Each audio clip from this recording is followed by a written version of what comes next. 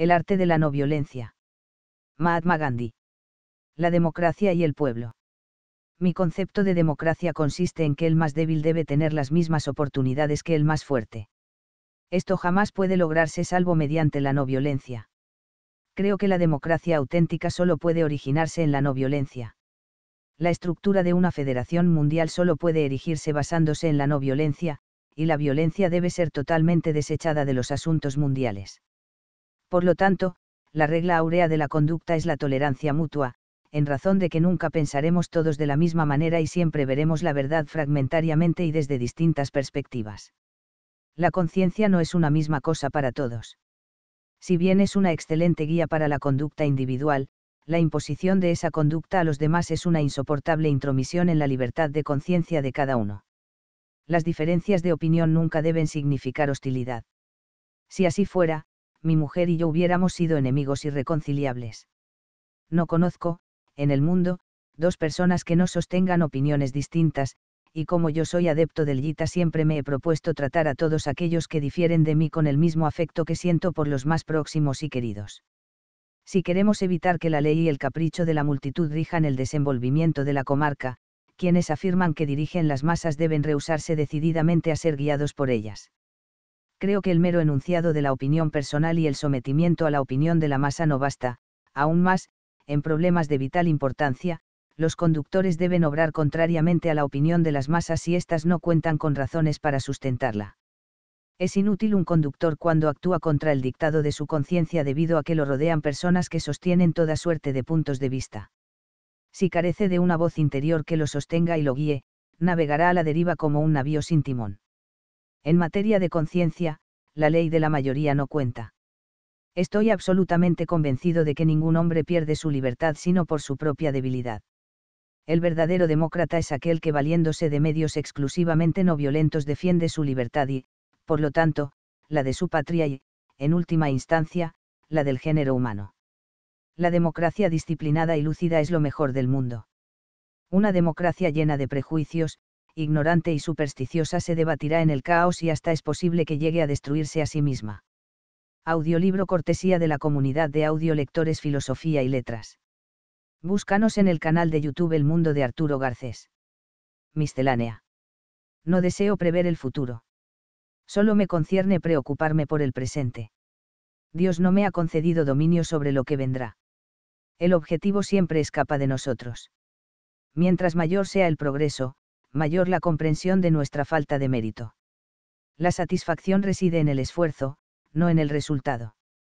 Plenitud de esfuerzo es plenitud de victoria. Si en apariencia tomo parte en política, ello se debe exclusivamente a que en la actualidad la política nos rodea igual que el abrazo de una serpiente del que no podemos desasirnos por mucho que lo intentemos. Por lo tanto, deseo luchar con la serpiente. Niego ser un visionario. No acepto que me atribuyan santidad. Estoy en la tierra. Me siento inclinado a debilidades tan numerosas como las vuestras. Pero he visto el mundo. He vivido en el mundo con los ojos abiertos he soportado las pruebas más tremendas que han recaído en el destino del hombre. He soportado esta disciplina. Lo que es válido para los individuos es válido para las naciones. No se puede perdonar demasiado. El débil nunca puede perdonar. Perdonar es atributo de los fuertes. Preferiría que la India pereciera antes de que conquistara la libertad con el sacrificio de la verdad. Si no tuviera sentido del humor me habría suicidado hace mucho tiempo de alguna manera soy capaz de extraer lo más noble de la humanidad y eso me permite mantener mi fe en Dios y en la naturaleza humana. Es una mala costumbre afirmar que los pensamientos ajenos son malos, que solo los nuestros son buenos y que quienes sostienen puntos de vista distintos de los nuestros son enemigos de la patria. La bondad debe unirse a la sabiduría. La mera bondad no basta. Se debe conservar el sutil discernimiento que acompaña al valor espiritual y al carácter. En una situación crucial debemos saber cuándo hablar y cuándo permanecer en silencio, cuándo obrar y cuándo evitar la acción. En esas circunstancias la acción y la no acción se vuelven idénticas en vez de ser contradictorias. Lo que más me ha asombrado en la vida de Tolstoy es el hecho de que practicara lo que predicaba y de que admitiera que en su búsqueda de la verdad nada era demasiado arduo. Fue el más notable apóstol de la no violencia que haya producido la época actual. Mujeres Creo firmemente que la salvación de la India depende del sacrificio y de la lucidez de sus mujeres. Según mi opinión, de la misma manera en que hombre y mujer son fundamentalmente uno, en esencia también sus problemas deben ser uno. En ambos el espíritu es el mismo. Ambos viven la misma vida, tienen idénticos sentimientos. Cada uno es complemento del otro. Ninguno de los dos puede vivir sin la activa ayuda del otro pero de múltiples maneras el hombre ha dominado a la mujer desde épocas remotas y así se ha creado en la mujer un complejo de inferioridad. Ha creído en la validez de la interesada prédica del hombre según la cual es inferior a él. Pero los profetas de la humanidad la han reconocido su igual. Si yo hubiera nacido mujer, me habría rebelado contra cualquier pretensión del hombre de que la mujer ha nacido para ser su juguete. Mentalmente me he transformado en mujer para penetrar en su corazón no pude penetrar en el corazón de mi mujer hasta que no me decidí a tratarla de manera diferente de la que acostumbraba, y de ese modo le devolví todos sus derechos despojándome de todos los supuestos derechos que me concedía mi condición de marido. La mujer debe dejar de considerarse a sí misma el objeto de la lujuria masculina. La solución está más en sus manos que en las del hombre. Si la no violencia es la ley de nuestro existir, el futuro pertenece a la mujer. Pobreza en medio de la abundancia debiéramos avergonzarnos de descansar o de disponer de una comida completa mientras haya un hombre o una mujer físicamente apto sin trabajo o sin alimento. Le es permitido al mundo, reírse de mí porque me desprendo de toda propiedad. Para mí ese desprendimiento ha sido una ganancia positiva. Me agradaría que la gente compitiera conmigo en mi satisfacción. Es el más valioso tesoro que poseo. Por lo tanto, ¿acaso sería válido afirmar que, aunque predico la pobreza, soy un hombre rico? nadie ha sugerido nunca que el opresor pauperismo pueda conducir a algo que no sea la degradación moral. Para el pobre lo económico es lo espiritual. No se puede ofrecer otro estímulo a esas multitudes hambrientas. Les resultaría indiferente. Pero si les entregáis alimentos os considerarán su Dios. Son incapaces de ningún otro pensamiento. Aun en un mundo más perfecto fracasaríamos en el intento de evitar las desigualdades, pero podemos y debemos evitar la rivalidad y la amargura la idea de la guerra de clases no me atrae. En la India una guerra de clases no solo no es inevitable, sino que inclusive puede evitarse si hemos comprendido el mensaje de la no violencia. Quienes hablan de la guerra de clases como de algo inevitable no han comprendido las implicaciones de la no violencia o las han comprendido solo a flor de piel. No puede terminarse con la explotación del pobre por medio de la destrucción de unos cuantos millonarios, sino eliminando la ignorancia del pobre y enseñándole a no cooperar con sus explotadores esto también convertirá a los mismos explotadores. Inclusive he sugerido que en última instancia eso colocaría a ambos en una situación de camaradas iguales. El capital en sí mismo no es un mal, lo que está mal es su uso injusto. El capital, de una u otra manera, siempre será necesario.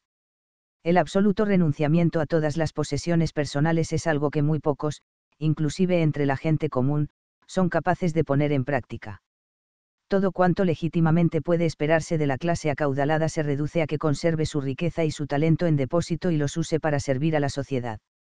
Pedir más significaría matar a la gallina de los huevos de oro. Autodisciplina.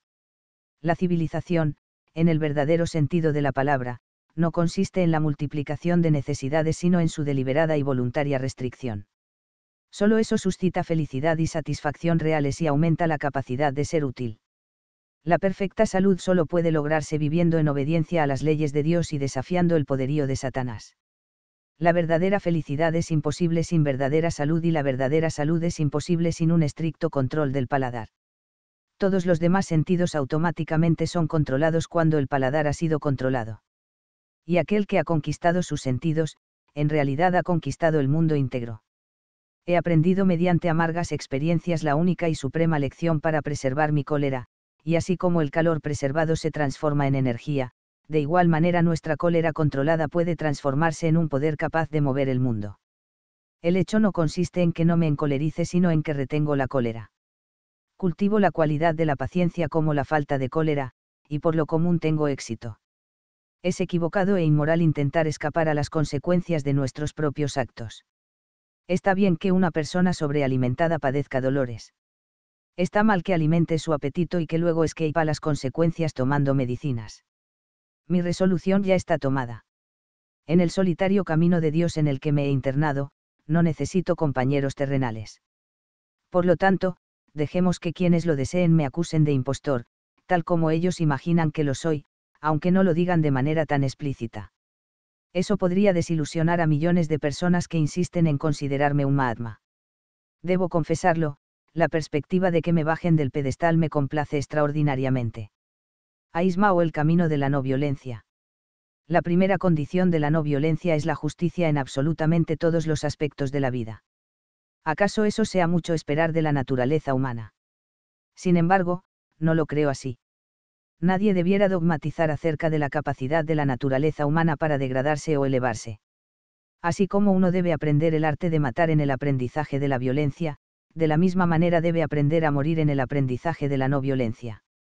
Si meramente amamos a quienes nos aman, eso no es no violencia. Solo existe la no violencia cuando amamos a quienes nos odian. Sé cuán difícil es acatar esta gran ley del amor. El amor al que odia es lo más difícil. Pero, por la gracia de Dios, aun esto tan difícil se torna fácil de cumplir si queremos hacerlo. Comprendo que las naciones, igual que los individuos, solo pueden formarse por medio de la agonía de la cruz y no de otra manera. La alegría no procede de las penas que infligimos a los demás, sino de las penas que sobrellevamos voluntariamente. Algunos amigos me han dicho que la verdad y la no violencia están fuera de lugar en la política y en los asuntos mundanos. No estoy de acuerdo con ellos no las he utilizado como instrumentos para la salvación individual. Su ingreso y su aplicación a la vida cotidiana ha sido mi ininterrumpida práctica. El principio fundamental de la no violencia se basa en abstenerse de la explotación en cualquiera de sus formas. La historia nos enseña que aquellos que, sin duda por motivos honestos, han acosado a los hambrientos utilizando la fuerza bruta contra ellos, a su vez se han transformado en presa de la enfermedad de los conquistados. Si yo no puedo tener nada que ver con la violencia organizada del gobierno, aún mucho menos tendré que ver con la desorganizada violencia del pueblo. Preferiría que entre ambos me aplastaran. Objeto la violencia cuando parece obrar bien, este bien es solo temporario, el mal que infiere es permanente. Jesucristo y Sócrates representaron la forma más pura de resistencia pasiva o fuerza espiritual. Para todos esos maestros el cuerpo no significaba nada en comparación con el espíritu no me opongo al progreso de la ciencia en sí misma. Por el contrario, el espíritu científico de Occidente suscita mi admiración, y si esta admiración tiene restricciones, ello se debe a que los hombres de ciencia occidentales no respetan la creación inferior de Dios. Aborrezco la vivisección con toda mi alma. Religión y verdad. Cuando hablo de religión no aludo a la formal ni a la ritualista, sino a esa religión que se encuentra por debajo de todas las religiones y que nos enfrenta cara a cara con nuestro Creador. Sé, que nunca hubiera conocido a Dios si no hubiera luchado contra el mal a una costa de la vida misma. Me esfuerzo por ver a Dios a través del servicio prestado a la humanidad, pues sé que Dios no está en el cielo, ni aquí abajo, sino en cada uno. Si un hombre llega al corazón de su propia religión, también ha llegado al corazón de las otras. Las religiones son distintos caminos que convergen en el mismo punto. ¿Qué importa que tomemos distintos caminos siempre que lleguemos a la misma meta? En realidad, hay tantas religiones como individuos. Que nadie, ni por un momento, abrigue el temor de que un estudio reverente de las otras religiones pueda debilitar su fe en la propia. El sistema hindú de filosofía considera que todas las religiones contienen en sí elementos de verdad y prescribe e impone una actitud de respeto y reverencia hacia todas ellas creo en la verdad fundamental de todas las grandes religiones del mundo. Biografía. Gandhi, Mohandas Karamchand. Pourbandar, 1869 Nueva Delhi, 1948. Líder político religioso hindú llamado el Mahatma, el alma grande. Nació en el seno de una familia perteneciente a la casta Vaisya, casta comerciante baniana, pero que desde hacía dos generaciones había ocupado cargos políticos importantes en Kathiawar. Gandhi estudió leyes en Londres, 1888 a 1891. Posteriormente ejerció la abogacía en India y en Sudáfrica, 1891 a 1893, país donde comenzó su famoso movimiento de resistencia pasiva contra los abusos del gobierno colonial inglés. Organizó un cuerpo de ambulancias en la guerra anglo-boer, 1899 a 1902.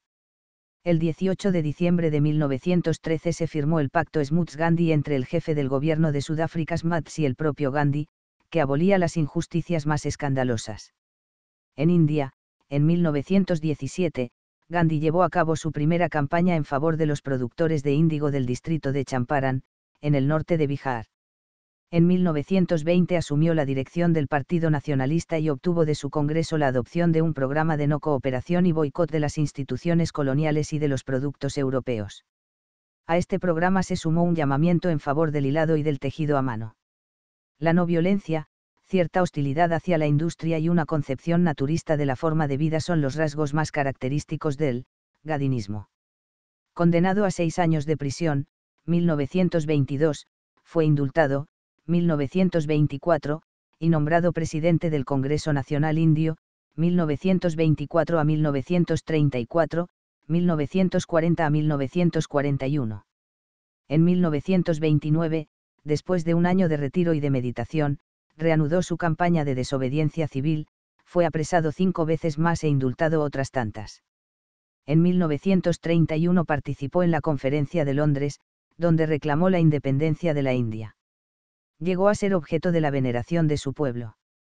Amenazando con ayunar hasta la muerte, logró el triunfo de sus reformas e ideas humanitarias. Fue asesinado por un miembro del Rastriya Svayamse Sound, movimiento extremista hindú. Audiolibro cortesía de la comunidad de audio lectores Filosofía y Letras. Búscanos en el canal de YouTube El Mundo de Arturo Garcés.